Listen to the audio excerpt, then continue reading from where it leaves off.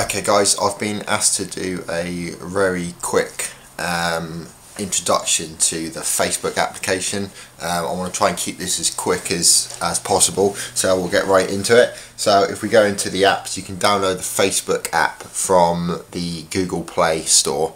Um, tap on tap on the app and it will automatically come up with your your news feed so these are all the status updates from your um, your friends etc um, it's actually been laid out really really nice. Along the top you've got status photo and check-in. So tap the status to, to add a new status. If you want to upload a picture it's photo. And if you want to check in that you're at the cinema or, or something like that um, it will simply be check-in. Um, along the top in very faint I don't know if you can quite see them you'll have friend requests messages and also notifications. So if they glow red it means there's there's something new that you need to have a look at.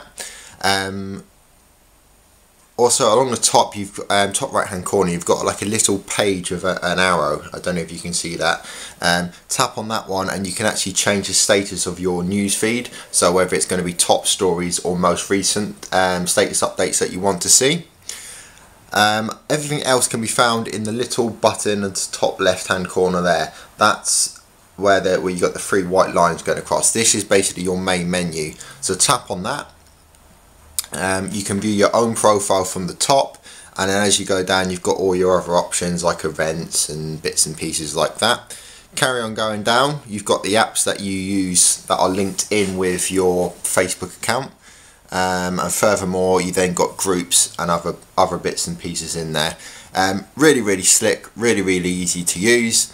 Um, search at the top. If you were to type in some just type in some random information that hasn't come out of anything.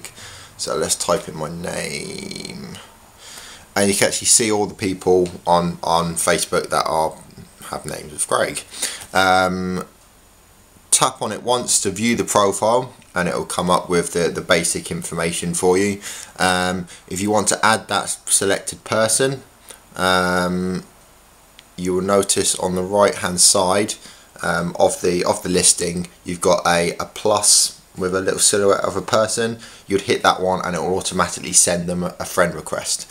Um, and that's pretty much it. It's very simple to use very easy to follow um, and I hope that helps